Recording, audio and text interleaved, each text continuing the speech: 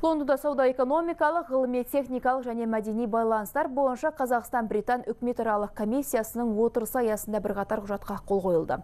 Бұл бастама ғылыми зерттеу және инновациялық технологиялар бағытында зор жаңалықтарға жол ашпақ.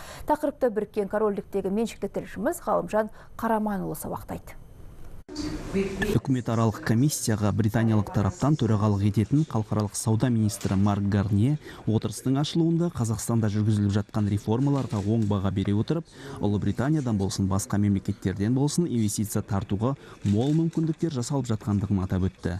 Оған қоса біріккен корольдік инвестиция көлемін арттыруға және қазақстан экономикасының цифрландыру жаңа технологиялар пайдалану жасыл энергетика сияқты секторларының дамуына көмектесуге әрдайым әзір. Басты мақсат компанияларды бір біріне таныстыру және іскерлік байланыс орнатуға бағыттау сондай ақ қазақстанға хай-тек технологиялар тарту және құқық салалары бойынша кеңес беру. комиссияның қазақстандық тарап бойынша тең төрағасы инвестиция және даму министрі жеңіс қасымбек өз кезегінде британияның қазақстанның маңызды стратегиялық әріптесі ретіндегі рөлін ерекше атап өтті. Біздің мемлекеттің индустриалды инновациялық бағдарламаларды жүзеге асыруға көмектесе алатын британиялық озық технологиялар мен инновацияларға деген қызығушылығы зор.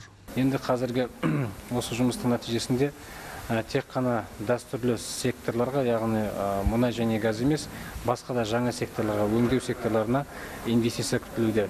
Отырыс қорытындысы бойынша бірқатар екі жақты құжаттар мен іскерлік келісімдерге қол қойылды. Олардың арасында ғылыми зерттеу қызметтерін көрсету және смарт технологиялар саласында әріптестік орнату бар. Ғалымжан қараманұлы ұлыбритания арнайы хабар 24 үшін.